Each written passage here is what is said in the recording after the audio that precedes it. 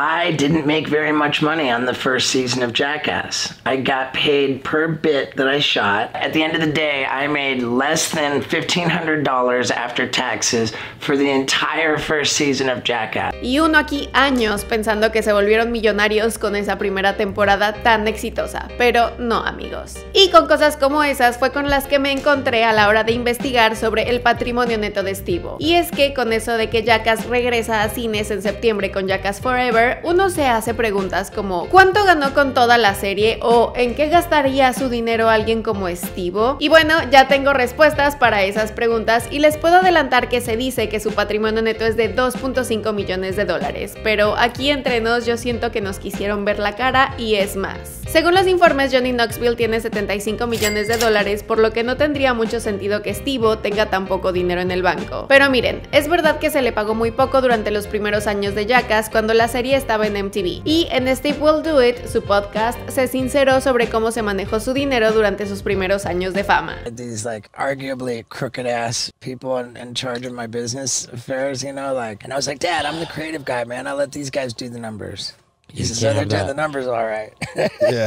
Y también estaban sus problemas de adicción que probablemente hicieron un enorme daño en sus ingresos y en la posibilidad de ahorrar algo de dinero.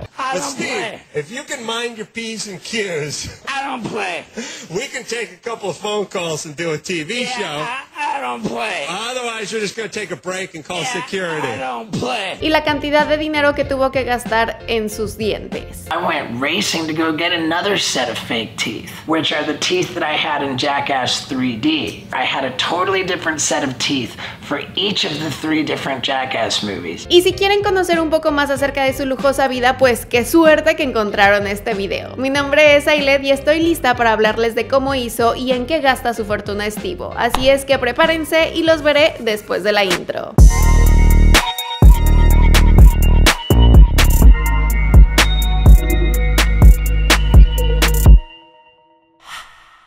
Ok, primero un resumen. El nombre real de Steve es Stephen Gilchrist Glover y nació en Londres, Inglaterra, el 13 de junio. Su madre era canadiense y su padre tenía raíces inglesas y estadounidenses. Su padre trabajaba para Pepsi Cola y cuando Steve tenía seis meses se mudó con su familia a Brasil porque su padre había sido ascendido a presidente de Pepsi Cola en Sudamérica. Durante su infancia Steve vivió en un montón de lugares diferentes incluidos Brasil, Venezuela, Miami, Canadá y Londres antes de que la familia finalmente se estableciera en Miami. Incluso asistió a la Universidad de Miami por un tiempo antes de abandonar la escuela debido a malas calificaciones y en lugar de estudiar una carrera decidió meterse a la escuela de payasos. Después de tres años, Steve trabajó profesionalmente como payaso y filmó varias acrobacias. Regularmente enviaba las cintas a Big Brother y a una revista de skate y sin saberlo, la persona que las recibió fue quien se convirtió en el futuro director de Jackass, Jeff Tremaine. Tremaine vio el potencial de Steve y lo metió al equipo de Jackass. El programa original de TV se lanzó en el año 2000 y duró tres temporadas. Fue un gran éxito y Steve rápidamente se convirtió en uno de los favoritos de los fanáticos. Como lo dije hace rato, sí, Steve era famoso, pero ganó muy poco dinero durante el éxito inicial de Jackass. I made $200 for swallowing a goldfish, butt stapling, street fishing, and I don't even know if they paid me for the others. Por el lado positivo lanzó sus propios DVDs Don't Try This at Home, seguido de Don't Try This at Home 2 y 3, seguido de Early Years y Gross Misconduct durante principios de la década del 2000. Obviamente su situación financiera mejoró después de la primera temporada de Jackass y el proyecto se convertiría en un monstruo en taquilla. Un exitazo pues. La primera película recaudó casi 80 millones de dólares en todo el mundo y tuvo un presupuesto de solo 5 millones. La secuela, Jackass Number 2, recaudó casi 85 millones con un de 11.5 y la tercera, Jackass 3D, recaudó casi 172 millones con un presupuesto de 20 millones de dólares. Y ganaron aún más con sus spin-offs incluidos Jackass Presents Bad Grandpa, Jackass 2.5 y Jackass 3.5. Se ganaron millones de dólares, entonces, ¿por qué se estima que el patrimonio neto de Estivo es de solo 2.5 millones? Bueno, durante los primeros años de éxito, Estivo también estaba lidiando con algunos problemas de adicción muy serios. Bam Margera le dijo a Maxim en 2010, se despertaba con globos u óxido nitroso, luego bebía vodka y jugo de toronja, inhalaba una línea de special cake y luego una línea de coca y luego fumaba PCP con marihuana. En serio, cualquier cosa que se te ocurriera, él lo haría. Estaba en el camino de pura destrucción. Qué fuerte. Pero Estivo no le ocultaba sus problemas a nadie e incluso aparecía en televisión extremadamente intoxicado.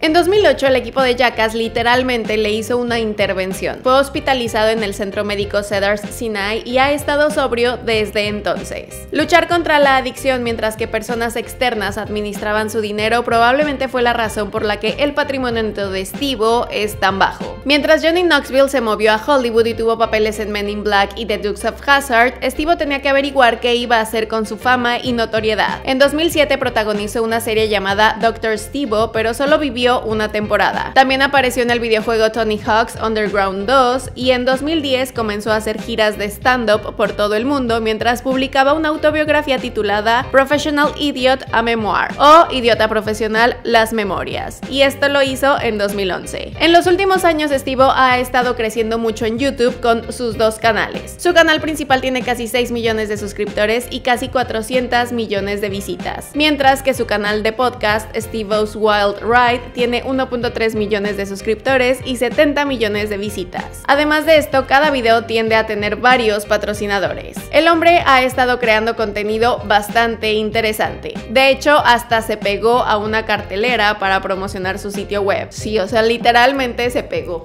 O sea, en un billboard, en una cartelera hacia arriba, se pegó. Y además de gastar en carteleras para y promocionar su sitio web, ¿en qué más gasta su dinero Estivo? Bueno, tiene unas propiedades realmente interesantes. Después de ensobriarse y hacer algunos cambios importantes en su vida, se quedó con una impresionante residencia contemporánea de dos niveles que cuenta con casi 235 metros cuadrados, tres dormitorios y tres baños. Y se complementa con un amplio balcón con exuberantes vistas al cañón. Si quieren conocer un poco más dónde vive y ha vivido Estivo, podría hacer un house tour del muchacho. Si eso es algo que les interesa ver, díganmelo en la parte de los comentarios y yo me encargo de hacer todo lo demás. También tiene algunas piezas bonitas dentro de su casa, las cuales ha recolectado a lo largo de los años y un buen set para ayudarlo a producir todo su contenido para YouTube. Estivo nunca ha sido un gran aficionado a los coches. No lo verán estacionado en un McLaren. Pero cuando estaba de fiesta, su elección de automóvil era un Nissan Versa, que creo que es el automóvil más barato que fabrica Nissan o uno de los más baratos. E independientemente de que no sea un super carrazo, parecía que realmente le encantaba ese auto, aunque al final ya estaba bastante tirado al traste. O pa'l perro, pues, para que me entiendan.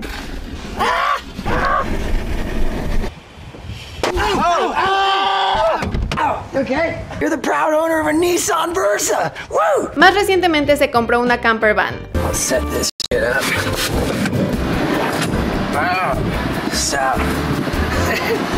You like making beds, dude. Desde entonces ha duplicado las vans e invertido en una furgoneta camper cada vez más grande y mejor en la que presenta su podcast Wild Ride. Este espacio tiene todo el equipo y se ve lo suficientemente elegante como para permitirle tener invitados como Demi Lovato, Mike Tyson, Post Malone, Mark Cuban. Piensen en alguien y seguro ha ido al podcast de Steve. Y yo creo que es uno de los mejores podcasts de entrevista porque nos cuenta historias loquísimas tanto de Steve como de sus invitados. Ha gastado dinero en sus dientes, algo que mencioné en la introducción, y también están sus tatuajes, pero por lo menos uno de esos le tuvo que haber salido gratis, al menos el que le hicieron mientras alguien manejaba ese carrito de golf, ¿se acuerdan? En general parece que a Estivo le está yendo bastante bien y ¿saben qué? Aquí nos da mucho gusto. Y si quieren el antes de que fueran famosos de Estivo o su house tour o algún video en algún otro integrante de Jackass, me lo pueden decir en la parte de los comentarios y yo feliz me encargo de lo demás. Por lo pronto yo me despido, espero que el video les haya Si fue así, pues ya saben cómo hacérmelo saber. Denle mucho amor. Y también recuerden seguirnos en todas, todas, todas nuestras redes sociales oficiales. Tenemos TikTok, Facebook, Instagram y, o sea, y la que venga también la vamos a tener. Así es que nos siguen en todas.